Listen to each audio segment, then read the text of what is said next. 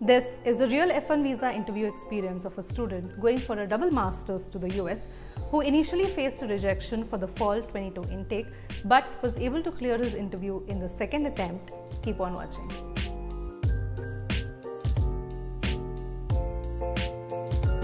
One consultancy straight away they said your visa will be rejected. There is no chance to go to USA.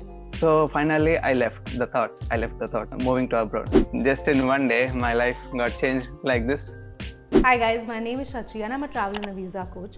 On this channel, you'll find lots of useful videos on the US visa process. There is an entire playlist for the fall 22 intake and for August month, we've been doing a lot of videos to help you overcome your F1 visa rejection. So make sure that you subscribe and check out all of these videos.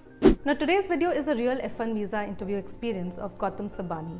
Before we start, let's take a quick look at Gautham's profile. Education. So Gautham has completed his BCom in India and Masters in FinTech from Exeter Business School, London and he finished his Masters in 2021. Work experience, he has three years work experience as an analyst in India post his undergrad and after that he has about a year of internship experience post his masters in London. Admit his admit is from Southern Illinois University Edwardsville for an MBA program with concentration in analytics and his funding is through loan and family savings. Just curious to know how many of you are going for double masters to the US. So if you too are applying for an F1 visa for a double masters, comment below double masters and let me know. Coming back to Gautham's experience, in his first interview which was held in the London embassy, Gautham was basically asked why this university, why double masters and why US. And in this interview he faced a rejection. Post this, he did not change his university but he reworked his profile and the way he presented his work experience plus his reasoning for doing the masters. In fact, Gautham was part of our 7-day program. Now the 7-day program is a structured program of 7 sessions which essentially gives you end-to-end -end prep. We start with understanding your profile, helping you in your DS-160 form and answer structuring for you plus multiple mocks. So if you too want to be part of the 7-day program, do check the link in the description box below. Now let's hear from Gautham and understand his interview experience and how he managed to turn a rejection into an approval. Hi, congratulations. Hi Shachi, how are you? Good, you tell me, how are you feeling? I am good, I am good. just in one day my life got changed like this mm, i came to i came to the uk in october october 15th 2020 exactly to do my masters in fintech from university of exeter so i finished my masters in november 2021 with a distinction later i did my internship as a business analyst i applied for uh, us masters us mba basically i applied for mba business analytics concentration from SIU University. What was the motivation to do another master's like? Genuinely, like what was the intent? Actually, it was my dream to move to USA since 2014. So due to I did my CA, unfortunately, I don't know when when I was doing my undergrad, the there is a integration course with the CA board with IGNOU.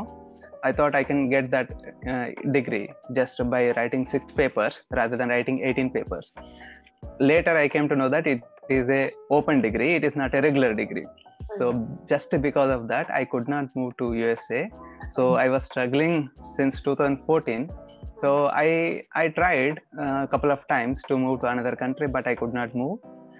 So finally i left of uh, uh, moving to abroad. The thought i left the thought. Because i thought my uh, in my degree they are clearly saying it is a 15th January to 15th December. So it's like one year. They are clearly saying. Mm. So I found it's really hard to move to another country. But suddenly, one of my friends who we both were tried together, but suddenly he called me. He said he is in Australia.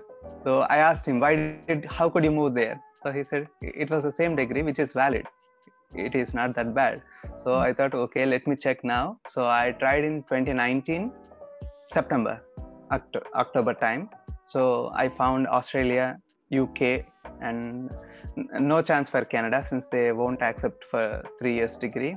So I thought oh, no chance for US as well. So that time I didn't check USA as well. So instead of uh, going to Australia, I found UK is better. So uh, I applied, but unfortunately or fortunately, I, I got rejected in December attempt, sorry, January intake of 2020. And later, um, why I said fortunately, because later COVID came. Hmm. So I would have suffered if I went in 2020 January. Later, yeah, in September, I got uh, from one of the top universities in UK, probably top 12 something like that, in, in the UK, University of Exeter. I got admission here. I came here. So I did my master's. I was about to settle in the UK, but somehow I have seen some situations. I don't wanted to compromise my lifetime dream, lifetime goal. So I thought if I compromise now, I don't know when I will move to the USA. So I thought I kept everything aside. Pass. Okay, let me go to USA. I, mm-hmm. so this is the age where I should settle down. But I thought, okay, let me take one more step in the career Yeah. to move to USA. Okay. And the first time you gave the interview, you faced a rejection when you Yes. London. So what Yes. do you think was wrong in that attempt? that time i did not prepare well honestly because uh, uh, i was working and i could not get time i could not uh, i don't know anything there were nobody to suggest me guide me some like that so everything got dragged until the last minute like financials and everything all the documents so i got stressed. I didn't prepare well actually. Okay. yeah. Luckily i was the second person. The first person got rejected. Mhm. and i was in hurry. I didn't i didn't see that he got rejected. So i heard my name. I went directly inside. It's there is only one counter as you said. Yeah. initially i thought Or standing? sorry? Was it sit down or standing? standing. Initially i thought sitting like a normal interview but it is standing but it is closed. There is one door so it is closed. Suddenly they asked why fintech? And uh, what is it why did you do your business analyst internship rather than fintech? So and uh, why did you write gre they asked me. So i said no they did not uh, they they said not required because i have foreign affairs of experience as well as uh, a uk masters. So it is not required approved But he's asked also asked you, you already done a master's in London, so in UK. yeah Why yeah what has yeah what is the change yeah mm-hmm. what is the change And there are many students like you who are already in UK, they've done a master's. Now looking Yes. for. So what advice do you have?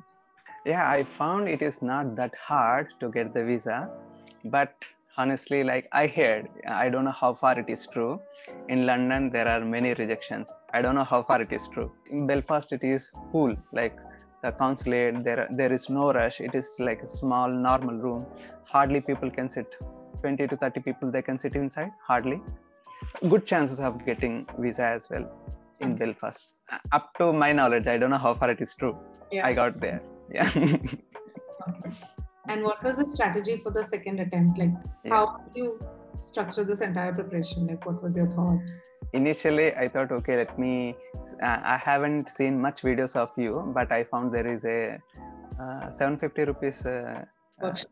uh, session workshop okay i forgot that workshop i attended that workshop i found it's really good it, it's really helpful there is a lot to learn for the visa interview so i thought visa interview is small thing but it is not small thing. We need to uh, ca- careful in each and each and every step.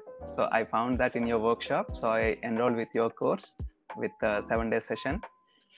So it was really really helpful because you took all the information about me because my case is complicated because my graduation is looks like only one year.